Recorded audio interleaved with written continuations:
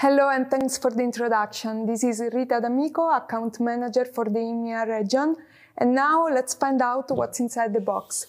If you're already an Aoralscan 3 user, you have probably noticed the similarity of the two cases, which allows for an easy scanner transportation comfortably and safely.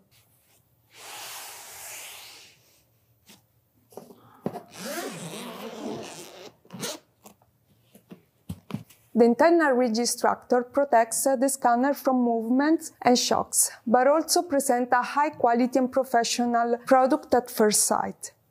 Opening the case, uh, you will immediately find uh, the Metismile, our compact and light 3D face scanner protected by a silicone shell. As you can see, the scanner is ergonomic and can be held very easily. The button placed in the center will help control the scanning process, like activating and stopping the acquisition, and the LED light will help understand the status of the scanner. For example, it should light up green during the correct acquisition. The five cameras allow an accurate scan with a realistic and detailed texture. The Metismile will be powered with the power adapter. The Relay box will enable you to connect uh, both Aoralscan 3 and Metismile at the same time for a function and very fast integration, keeping the work area organized. Through the USB flash drive, you can install the software locally or download the latest version from our official website, shining3d.com. The 8 adjustable tripod will give a user more ergonomic scanning experience, making the patient sit comfortably in a chair and placing the scanner on the desk or holding it for a higher control during the scan.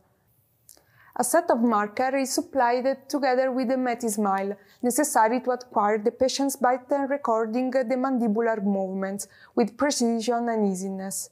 So, last but not the least, very important, the calibration plate protected by its own bag. Let's now proceed to the setup of our Metismile. At first, you can put the scanner on its tripod. Then you just need to connect the power adapter to the relay box on its proper socket. After doing that, we can also connect the data cable from the scanner directly on the relay box. After that, we can just go ahead and connect to the computer the relay box.